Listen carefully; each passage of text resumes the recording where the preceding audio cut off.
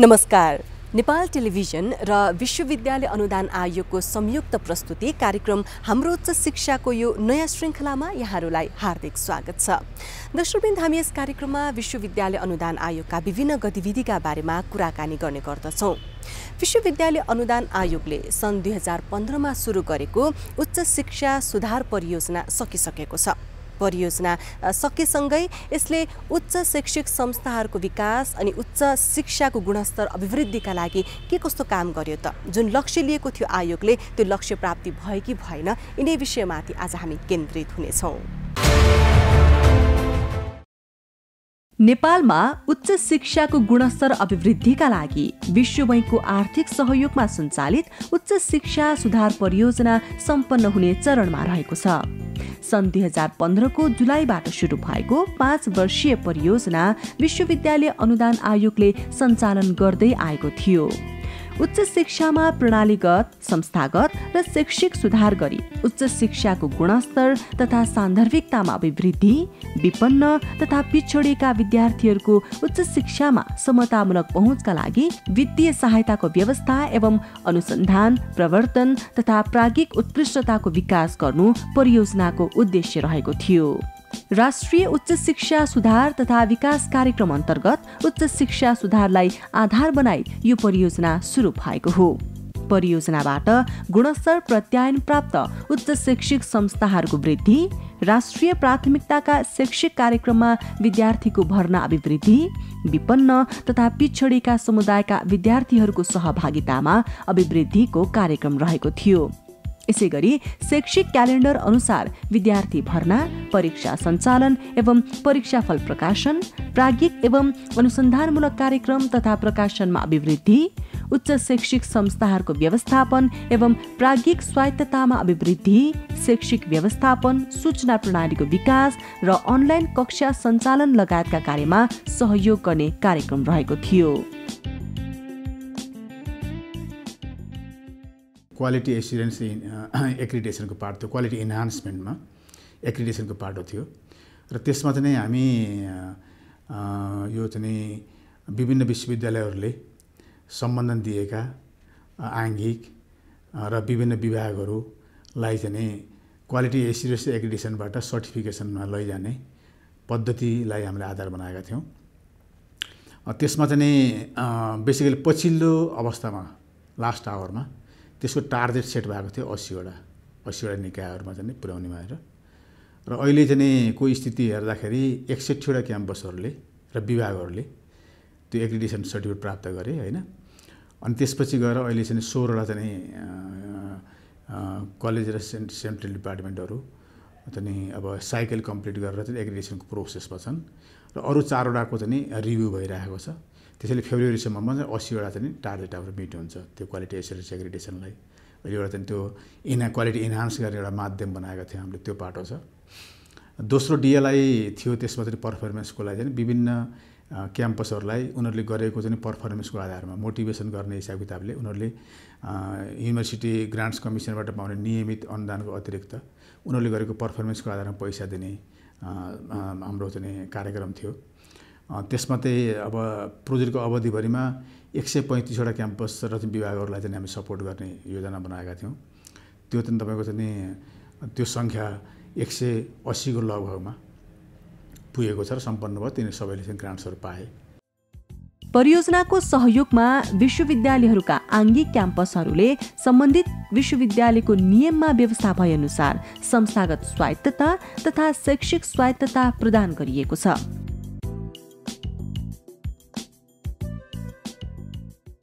विश्वविद्यालयका विभिन्न आङ्गिक क्याम्पसहरूलाई यो हाम्रो चाहिँ फाइनेन्स यो हाम्रो चाहिँ इन्स्टिट्युसनल अटोनोमी संस्थागत सहायता दिने कार्यक्रम थियो नौवटा। त्यो नौवटामा चाहिँ नौवटा अन्तर्गत आठवटा चाहिँ त्रिवेणी विश्वविद्यालय अन्तर्गतले प्राप्त गरे र एउटा मध्यपश्चिम मध्यपश्चिम विश्वविद्यालयले चाहिँ चाहिँ त्यो चाहिँ अटोनोमी प्राप्त गरेको छ त्यो नौवटा संस्थागत प्राप्त भएका छन्। र चौधवटा कार्यक्रमहरूमा अन्तर्गत चाहिँ यो एकाडेमिक अटोनोमी प्राप्त गर्ने प्रदान गर्ने कार्यक्रम थियो। उनीहरूले त्यो पनि पुरा भएको छ। त्यसमध्ये चाहिँ चौधवटा मध्ये चाहिँ दुईवटा त्रिवेणी विश्वविद्यालय अन्तर्गत छ। दुईवटा चाहिँ हाम्रो चाहिँ मध्यपश्चिम विश्वविद्यालय अन्तर्गत छ र बाँकी दसवटा चाहिँ सामुदायिक विद्यालय सामुदायिक क्याम्पसहरूले सहायता प्राप्त गरेका छन् त्यो हिसाब किताबले। र चौथो चाहिँ हाम्रो चाहिँ डिस्पर्समेन्ट लिङ्क इन्डिकेटर्समा एउटा चाहिँ परीक्षा सुधार कार्यक्रम थियो। परीक्षा सुधार कार्यक्रम अन्तर्गत पनि एउटा के भने मास्टर लेभलको प्रोग्रामलाई एकाडेमिक क्यालेन्डरमा लैजाने होइन? एकाडेमिक क्यालेन्डर अनुसार सञ्चालन गर्ने गरेर त्यो थियो त पहिला त्यति बेला त मास्टर लेभल प्रोग्राम चाहिँ वार्षिक कार्यक्रम अनुसार सञ्चालन भइराख्यो होला त्यसलाई चाहिँ एकाडेमिक क्यालेन्डर मेन्टेन गर्ने भनेको थियो। र त्यो वार्षिक क्यालेन्डरको कार्यक्रमको एकाडेमिक क्यालेन्डर तिनले सुरुको दुई वर्षमा मेन्टेन गरिसकेका थियो त्यो मास्टर लेभलमा त्रिवेणी विश्वविद्यालयमा। र पछि त्यो प्रोग्राम चाहिँ फेरि सेमेस्टर सिस्टममा गइसकेपछि त्यो आफै चाहिँ सेल्फ चाहिँ तपाईँ चाहिँ स्टिम लाइन भएर आयो। त्यो इन्डिकेटर मिट भयो। र अर्को एउटा इन्डिकेटर थियो हाम्रो चाहिँ ब्याचलर्स लेभलमा जुन चाहिँ एनुअल लेभलमा सञ्चालन भएका कार्यक्रमहरू छन् त्रिवेणी विश्वविद्यालय अन्तर्गत। ती कार्यक्रमहरूको रिजल्ट पब्लिकेसन नौ महिना दस महिना लाग्ने गर्थ्यो पहिलादेखि। धेरै ढिलो हुने होइन? जाँच भएको अवधिले कसै कसै त बाह्र महिना पनि लाग्थ्यो। त्यसैले हामीले चाहिँ एभरेज सेट गर्दाखेरि नौ महिनाको एभरेज देखिरहेको थियौँ। र त्यसलाई चाहिँ प्रोजेक्टको पिरियडभित्र तिन महिनामा ल्याउने भनेर चाहिँ सुरुमा टार्गेट राखेको थियौँ। अहिले एम्बिसियसै थियो टार्गेट होइन? र पछिल्लो चाहिँ दुई वर्षभित्रमा त्यो टार्गेट चाहिँ पाँच महिना तेह्र दिनमा झऱ्यो। एभरेजमा निकाल्दा उहाँहरूले पाँच महिना तेह्र दिनसम्म रिजल्ट निकाल्नुभयो। त त्योभन्दा चाहिँ तल झार्न सक्नु भएन। ब्याचलर्स लेभलको जुन प्रोग्राम थियो त्यो चाहिँ त्यो अब चाहिँ हाम्रो त्यो भुइँचालोको कारणले गर्दाखेरि धेरै चाहिँ निकायहरूले समयमा जाँच सम्पन्न गर्न नसक्ने अवस्था भयो। परीक्षा पनि राम्रोसँग सञ्चालन गर्न नसक्ने अवस्था भएको कारणले गर्दा उहाँहरूले त्यो रिजल्टलाई चाहिँ तल झार्न सक्नु भएन र पछि यो कोभिड पनि आयो। त्यसले गर्दाखेरि डिस्टर्ब भयो बढी। अहिले त्यो त्योभन्दा तल चाहिँ झर्न सकेन। त्यसैले त्यो एउटा इन्डिकेटरमा हामी चाहिँ अब चाहिँ तिन महिनामा ल्याउने इन्डिकेटरलाई चाहिँ पाँच महिनाको एभरेजमा छ र अब अहिले उहाँहरूले चाहिँ अब त्यो प्रोसेस गर्दै हुनुहुन्छ र मलाई लाग्छ चाहिँ अब एकाध वर्षमा फेरि त्यो मेन्टेन हुन्छ। परियोजना अन्तर्गत त्रिभुवन विश्वविद्यालयको परीक्षा प्रणाली सुधार तथा शैक्षिक कार्यतालिका कार्यान्वयनका लागि पर्याप्त प्रयासहरू भएको देखिन्छ। विभिन्न विश्वविद्यालयका कुल एक सय चालिस वार्षिक कार्यक्रमलाई समय सापेक्ष परिमार्जन गरी सेमेस्टर प्रणालीमा सञ्चालन गर्न एवं बजारोन्मुख शैक्षिक कार्यक्रम थप गरी सञ्चालनका लागि प्रोत्साहन गरिएको छ। करिकुलम रिभिजन गर्ने र नयाँ कार्यक्रमहरूलाई सपोर्ट गर्ने। नयाँ कार्यक्रमहरूलाई सपोर्ट गर्ने भनेको अर्थ के भने विभिन्न चाहिँ अब क्याम्पसहरूले आफूमा नचलाएको प्रोग्रामहरू चलाउँछ भने त्यस्ता खालका कार्यक्रमहरूलाई पनि सपोर्ट गर्ने इनिसिएसन दिने इन्ट्रेस्ट मतलब चाहिँ उनीहरूलाई नि मोटिभेट गर्ने हिसाब किताबले नयाँ कार्यक्रमहरू सञ्चालन गर भन्ने त्यसमा सपोर्ट गर्ने थियो। र त्यसपछि यो विश्वविद्यालयहरूमा दिन कार्यालयहरूको चाहिँ धेरै वर्ष पाँचौँ वर्ष छ वर्ष करिकुलम बनाएपछि आठ वर्ष दस वर्षसम्म पनि करिकुलममा रिभिजन नभएको अवस्था। र चाहिँ अब क्वालिटी इन्हान्स गर्ने हिसाब किताबले ती क्वालि ती करिकुलमहरू दुई वर्ष तिन वर्षमा रिभिजन भइराख्नुपर्ने। त्यसो भएको त्यसलाई चाहिँ हामी अलिकति फोकस गर्ने हिसाब किताबले रिभिजनको लागि पनि हामीले चाहिँ प्रोग्रामहरू राखेका थियौँ। र त्यो प्रोग्राम र रिभिजन नयाँ कार्यक्रमहरू लगभग लगभग एक सय पैँतिसवटा कार्यक्रम सेट गरेको थियो। त्यो पनि पुरै एचिभ भएको छ। र छैठौँ नम्बरमा यो विद्या विद्यार्थी जुन चाहिँ यो चाहिँ अन्डर प्रिभिलेज स्टुडेन्टहरू हुन्छ नि होइन गरिब विद्यार्थीहरू जो चाहिँ अलिकति चाहिँ असक्षम पढ्नको लागि त्यस्ता विद्यार्थीहरू छानेर तिनलाई फाइनेन्सियल सपोर्ट गर्ने कार्यक्रम थियो। त्यस अन्तर्गत चाहिँ त्यो कार्यक्रममा सात हजार पाँच सय विद्यार्थीहरू प्लस टूबाट र त्यसपछि दुई हजार विद्यार्थीहरू चाहिँ यो चाहिँ टर्सरी लेभलबाट माथि लेभल उच्च शिक्षाबाट छानेर सपोर्ट गर्ने थियो। त्यो सपोर्ट गर्नका लागि चाहिँ एउटा छुट्टै निकाय थियो विद्यार्थी वित्तीय सहायता कोष भनेर छुट्टै। नेपाल सरकार अन्तर्गत शिक्षा मन्त्रालय अन्तर्गत यसको डाइरेक्टर फेरि हाम्रो युसिको चेयरम्यान हुनुहुन्थ्यो। त्यो प्रोग्राम छुट्टै सेपरेट एउटा प्रोग्राम थियो। त्यो प्रोग्राम उसले चाहिँ चलायो र त्यो त्यस त्यसमा पनि नौ हजार चाहिँ सात सय नौ हजार पाँच सय गर्ने नौ हजार चार सय त्रिपन्न चाहिँ विद्यार्थीहरू त्यो सुविधा प्राप्त गरे त्यो त्यो खालको चाहिँ भयो। अब पनि हामीले त्यो त्यस्तो खालको परियोजनाहरू चाहिँ चाहिन्छ भन्ने हामीले महसुस गरेका छौँ। होइन जस्तो क्वालिटी एसुरेन्स त्यो एक्रिडेसनको पोर्ट पाटोलाई नै अगाडि बढाउनलाई पनि हामीलाई चाहिँ सपोर्ट जरुरत छ। त्यस्तै गरेर चाहिँ अहिले चाहिँ हामी चाहिँ यो मार्केट रिलिभेन्ट प्रोग्रामहरू चलाउनको लागि त्यहाँ चाहिँ अब यो नि शिक्षकहरूलाई हामीले तालिम दिनुपर्ने जरुरी छ। मार्केट रिलिभेन्ट प्रोग्राम चलाउनको लागि तपाईँको चाहिँ लिडरसिपमा बस्ने प्रशासनमा बस्ने मान्छेहरूले पनि त्यो एटिच्युड बुझ्नु जरुरी छ। तिनीहरू उहाँहरूलाई पनि त्यस किसिमको तालिमको जरुरत पर्ने हुन्छ। त्यसैले त्यस्तो तालिमको फ्याक्टरमा हामी चाहिँ फोकस गर्नु खोजिरहेको छौँ एउटा बाटो अर्को बाटो के छ भने हाम्रो अहिले पनि रिसर्चको बाटो। रिसर्चको पाटोलाई हामी चाहिँ अझै पनि धेरै चाहिँ फोकस गर्न सकिरहेको अवस्था छैन। यसलाई चाहिँ हामी चाहिँ अलिकति एक्सन ओरिएन्टेड कसरी बनाउने तपाईँको चाहिँ हाम्रो चाहिँ सोसाइटीले यसलाई चाहिँ सहज रूपमा लिन सक्ने कसरी गराउने अथवा इन्डस्ट्रीसँग यसको लिङ्क कसरी गर्ने त्यसको बारेमा हामी रिसर्च त गरिराखेका छौँ होइन। त्यो पाटोमा हामीलाई जान चाहिँ पर्ने बाध्यता छ र जाँदै जाने कोसिस गर्दैछौँ। त्योसँग चाहिँ लिङ्क जोड्नको लागि पनि अन्टरप्रेनरसिप कसरी डेभलप गर्ने होइन? त्यो खालको फोकस गर्नुपर्छ भनेर हामी सोचिरहेका छौँ। त्यो खालको एक्टिभिटी डेभलप गर्नलाई पनि अहिले हामीले प्रोजेक्टको चाहिँ जरुरत छैन ठानिरहेका छौँ। र त्यसैले विभिन्न खालको क्यापेसिटी अनि अर्को अहिले हामीसित च्यालेन्ज आयो के भने डिजिटलाइजेसनको बाटोमा नि होइन? जस्तो हामी इन्फर्मेसनलाई अपडेट पऱ्यो अनि पढाउने पद्धतिलाई तपाईँको चाहिँ अपडेट पऱ्यो अब हामी चाहिँ फिजिकल मात्रै चाहिँ फेस टु फेसको लर्निङले मात्रै पुगिरहन्छ हामीलाई तपाईँको भने अनलाइनमा पनि जानु पर्दैछ यो सिस्टमलाई कसरी चाहिँ अपडेट गर्ने स्ट्रेन्थन गर्ने त्यो पाटो छ। त्यसैले अहिले हामी चाहिँ विभिन्न विश्वविद्यालयहरूमा हामी फोकस गर्न खोजिरहेछौँ। ब्लेन्डेड मोडमा जानु पऱ्यो ब्लेन्डेड मोड भन्नाले के भन्दा अब तपाईँको चाहिँ फेस टु फेस अथवा अनलाइन पनि जानु पऱ्यो अनि त्यसपछि फेस टु फेस पनि जानु पऱ्यो अनलाइन पनि जानु पऱ्यो दुइटै प्रक्रियाबाट जानु पऱ्यो कति कति कति कुन कुन करिकुलमहरूलाई उहाँहरूले अनलाइनबाट चाहिँ सक्नुहुन्छ कति कुरालाई चाहिँ तपाईँको चाहिँ फेस टु फेस लानुपर्छ। यी खालको कुराहरूलाई हामी लानुपर्ने हुन्छ र त्यो एजुकेसनलाई हामी लान सक्यौँ भने त्यो चाहिँ के हुन्छ? दूर दराज जान सक्छ। अनि अर्को पाटो फेरि के छ भने हामीसँग च्यालेन्ज छ। त्यो के भन्दा गभर्मेन्टले अब टेक्निकल एजुकेसनलाई फोकस गरिरहेको छ। जनरल एजुकेसनलाई भन्दा टेक्निकल एजुकेसनलाई फोकस गरिरहेको छ। टेक्निकल एजुकेसनको ग्रस इनरोलमेन्ट बढाउनका लागि पनि हामीलाई ठुलो इन्फ्रास्ट्रक्चरमा अथवा चाहिँ त्यो क्यापेसिटी डेभलपमेन्टमा खर्च गर्नु जरुरी हुन्छ टेक्निकल साइडमा गर्नुपर्ने हुन्छ। त्यसको लागि पनि चाहिँ हामीले चाहिँ अहिले चाहिँ अलि कसरी जाने भनेर सोच्नुपर्ने अवस्था आएको छ। यी सबै कुराहरू गर्नलाई पनि अझै पनि हामीलाई चाहिँ सपोर्टको जरुरत पर्छ। परियोजनाले राष्ट्रिय प्राथमिकताका विषयहरूलाई केन्द्रित गरी संस्थागत अनुसन्धान पूर्वाधारको विकास शिक्षक र विद्यार्थीको अनुसन्धान क्षमता अभिवृद्धिका साथै उच्च शिक्षाको उत्कृष्टताका लागि अनुसन्धान विकास तथा नवप्रवर्तनका लागि विभिन्न कार्यक्रमहरूको सफल कार्यान्वयन गरेको छ। विभिन्न फ्याकल्टीहरूलाई रिसर्च दिने र चाहिँ विभिन्न अब चाहिँ फेलोसिप दिने त्यो खालको प्रोग्राम त्यसमा राखिएको थियो। त्यस अन्तर्गत करिब पाँच सय चाहिँ रिसर्च प्रोग्रामहरू चाहिँ अवार्ड भए गए होइन? र अर्को एउटा पाटो थियो यो त्रिवेणी विश्वविद्यालयमा यो फास्ट ट्र्याकबाट भन्नु फास्ट ट्र्याक भन्नु अर्थ के भने अहिले जुन सिस्टमबाट चाहिँ टिचरहरूको एपोइन्टमेन्ट गर्ने प्रमोसन गर्ने सिस्टम छ त्यो सिस्टमलाई अलिकति चेन्ज गरेर नयाँपनबाट। त्यस्ता खालका टिचरहरू जुन विदेशमा बसिरहनु भएको छ विशेष फोकस गरेर अथवा नेपालमा पनि बढी चाहिँ हाइली चाहिँ तपाईँको चाहिँ रिसर्चमा इन्भल्भ हुनुहुन्छ। पत्रिकाहरूमा चाहिँ अहिले चाहिँ यो रिफरिड जर्नलमा पत्रिकाहरू प्रकाशित गर्नुहुन्छ त्यसको चाहिँ हाई भ्यालु छ मार्केटमा। त्यस्ता खालका चाहिँ प्रकाशनलाई आधार बनाएर नियुक्तिको प्रोसेसलाई चाहिँ लैजाने एउटा छुट्टै चाहिँ कार्यक्रम बनेको थियो। र त्यो कार्यक्रमलाई पनि प्रोजेक्टले सपोर्ट गर्ने भनेको थियो। त्यो कार्यक्रम दुई चरणमा सम्पन्न भयो त्रिवेणी विश्वविद्यालयमा। पहिलो चरणमा एघारवटा चाहिँ टिचरहरू चाहिँ त्यसमा छानेर आउनुभयो। पाँचजना प्रोफेसर छजना रिडर। र त्यसपछि पछिल्लो चाहिँ कार्यक्रममा फेरि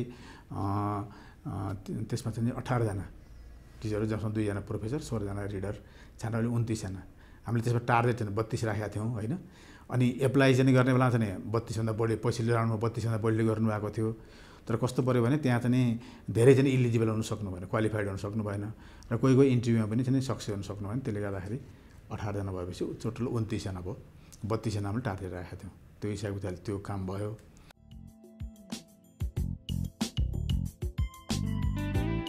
कोभिड नाइन्टिनबाट प्रभावित उच्च शिक्षाको पठन पाठनलाई सुचारू गर्न समेत परियोजना अन्तर्गत उच्च शैक्षिक संस्थाहरूलाई अनुदान उपलब्ध गराइएको छ।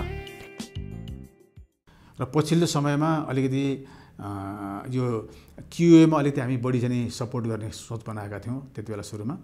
र त्यसपछि परीक्षाको लागि पनि बढी सपोर्ट गर्ने सोच बनाएका थियौँ। त्यही सपोर्ट उनीहरू पर्फर्मेन्सको आधार पैसा जाने भएको हुनाले ती खालका कामहरूमा अलि पैसा छ सरप्लस भयो गएको। अनि अहिले फेरि लास्टमा यो कोभिड आयो नि त होइन? कोभिड कारणले गर्दाखेरि अलिकति त्यहाँ सरप्लस हुने पैसालाई चाहिँ अब चाहिँ कोभिडलाई सपोर्ट गरौँ भनेर पछि पछिल्लो समयमा गएको जेठा छाडमा चाहिँ यो चाहिँ अर्को एउटा डिएलआई थपेर डिएलआई एटमा यो कोभिडलाई सपोर्ट गर्ने एउटा प्रोग्राम बन्यो। त्यो प्रोग्राम अन्तर्गत हामी विभिन्न विश्वविद्यालयहरूका चाहिँ क्याम्पसहरू आङ्गी क्याम्पसहरू त्यसपछि गएर चाहिँ डिपार्टमेन्टहरू अनि त्यसपछि गएर डिन अफिसहरू र चाहिँ त्यसपछि कम्युनिटी क्याम्पसहरू जो चाहिँ एक्रिडेटेड भएका छन् यो सेल्फ स्टडी रिपोर्ट बुझाएका छन् तिनलाई चाहिँ सपोर्ट गर्ने भनेर तिन सयवटा चाहिँ निकायहरूलाई सपोर्ट गर्ने भनेको थियौँ। तिनीहरूलाई पनि सपोर्ट गर्ने कार्यक्रम अन्तर्गत सपोर्ट भयो होइन? दस लाख रुपियाँ सबैले प्राप्त गरे र अब उनीहरूलाई साढे बाह्र लाख सपोर्ट गर्ने भनेको थियो। त्यो पैसा चाहिँ अब चाहिँ नेक्स्ट फेज गराउनु पैसा जाँदैछ।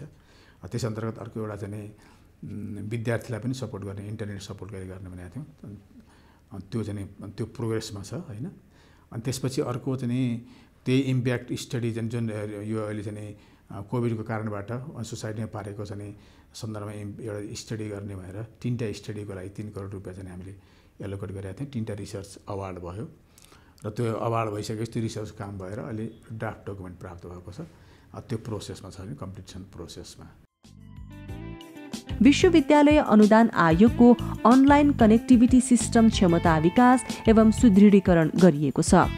विश्वविद्यालयमा अध्ययनरत एघार हजार चार सय विद्यार्थी छनौट गरी इन्टरनेट सुविधाका लागि सहयोग गर्ने कार्य भइरहेको छ। क्वालिटी एसुरेन्स एग्रिडेसनलाई होइन एउटा चाहिँ एउटा चाहिँ क्वालिटी मेजरमेन्ट गर्ने एउटा आधार बनाएका छौँ अब चाहिँ नेपालमा चाहिँ अहिले हेर्दाखेरि चौध सय बत्तिसवटा चाहिँ कलेजहरू छन् होइन? ती कलेजहरूमध्ये अहिले चाहिँ तपाईँको चाहिँ कलेज डिपार्टमेन्टको हिसाब गरेर अहिले चाहिँ जब सेभेन्टी सेभेनको पर हाम्रो रेन्जमा पुगेका छौँ बल्ल अहिले इभ्यालुएसन गर्ने क्रममा होइन? त्यसैले अब यी यो संस्थाहरू त हामीसँग बिस्तारै बिस्तारै गुरुङ गरेर लानुपर्ने छ नि त। त्यसो भएर अहिले के भने यी भनेको हाम्रो लागि मोडल हुन्। यिनीहरूलाई यिनीहरूले चाहिँ इन अरूलाई इन्करेज गर्छन्। त्यसैले यो लाइनमा जानका लागि मान्छेहरू अहिले चाहिँ धेरै चाहिँ लालादी भएको अवस्था छ एउटा। अर्को पनि यही यसैलाई आधार बनाएर हामी के भने क्वालिटी एसुरेन्स एग्रिडेसनको प्रक्रियामा जानुपर्छ सबै निकायहरू फन्डिङका लागि भनेर हामीले यसलाई अब एक दुई वर्षमा मेन्डेटरी गराउनुपर्छ भनेको छौँ। त्यसले त्यो त्यसो गर्दा के हुने भने मान्छेलाई अब त्यो त्यो पाटो बन्ने भयो नि त। त्यसैले उनीहरूको आफ्नो डकुमेन्टेसनको पार्टमा क्वालिटी इन्हान्स गर्ने पार्टमा उनीहरूलाई के भने इन्करेज गर्ने अगाडि आउने भयो। त्यसैले यी चाहिँ के हो भने यो मोडलको प्रोग्रामको रूपमा भयो। अनि अर्को पाटो हामीले अहिले सपोर्ट गरेको प्रोग्रामहरूमा के छ भने मार्केट रिलेभेन्टको कुरा गरिरहेको छ। मार्केट एकाडेमिक अटोनोमीको कुरा गरिरहेको छ। मार्केट रिलेभेन्ट कुरा गरिरहेको छौँ।